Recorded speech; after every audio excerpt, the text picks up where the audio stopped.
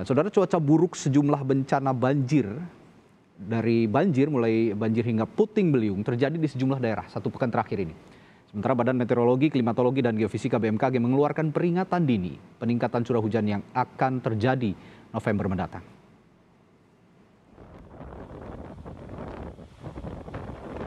Diterjang hujan deras dan angin kencang, atap gedung kampus IAIN Ponorogo, Jawa Timur roboh pada Jumat sore. Sejumlah mahasiswa yang berada dalam gedung berhasil menyelamatkan diri.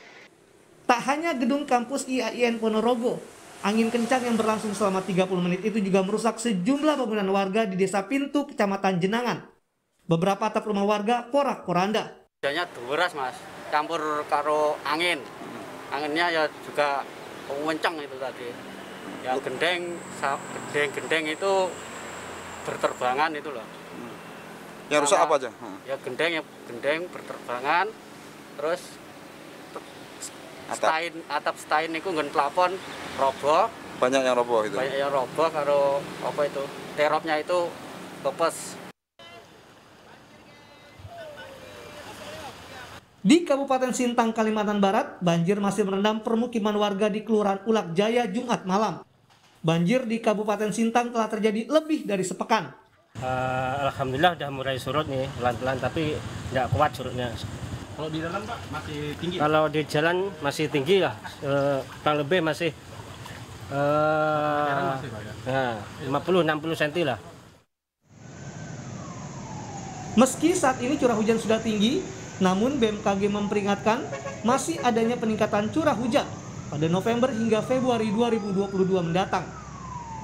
BMKG memprediksi wilayah Pulau Jawa, Bali, dan Nusa Tenggara akan mengalami curah hujan yang tinggi. Sementara wilayah Sumatera, sebagian Kalimantan, dan Sulawesi turut mengalami musim penghujan dengan intensitas sedang. Diprediksi akan mengakibatkan peningkatan curah hujan bulanan 70 persen sebesar 70 persen, bahkan dapat mencapai 100 persen. Di bulan November terlihat merata di Pulau Jawa, Bali, Nusa Tenggara Barat, dan cukup merata di Nusa Tenggara Timur. Tapi terutama di Jawa, seluruh wilayah Jawa, Bali, Nusa Tenggara Barat, dan juga secara sporadis di wilayah Sumatera, kemudian di Kalimantan Selatan, Kalimantan Barat, dan juga di Sulawesi Selatan. Dalam program Sapa Indonesia Pagi 30 Oktober 2021, Deputi Bidang Meteorologi BMKG, Guswanto mengatakan peningkatan curah hujan yang terjadi saat ini mesti diwaspadai warga Jakarta. Langkah pencegahan banjir pun mesti dilakukan terhadap potensi cuaca ekstrim. DKI itu ada tiga, tiga hal yang perlu diperhatikan. Yang pertama adalah uh, DKI ini sebagai uh, muara daripada uh, curah hujan yang berasal dari daerah aliran sungai di sekitarnya. Misalkan dari Bogor, dia akan lari yang disebut banjir kiriman biasanya. Nah ini yang pertama. Yang kedua adalah curah hujan yang jatuh di DKI itu sendiri. Bagaimana daya tampung dan daya dukung drainase di perkotaan di DKI itu bisa menampung.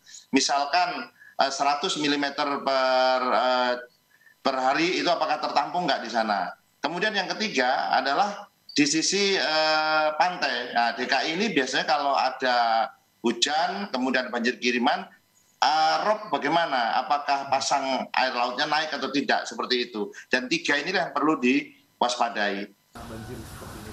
Badan Penanggulangan Bencana Daerah atau BPBD DKI Jakarta meminta warga ibu kota waspada banjir selama musim penghujan, terutama warga yang tinggal di bantaran sungai. Curah hujan tinggi diprediksi terjadi pada 30 sampai 31 Oktober 2021. Tim Liputan Kompas TV.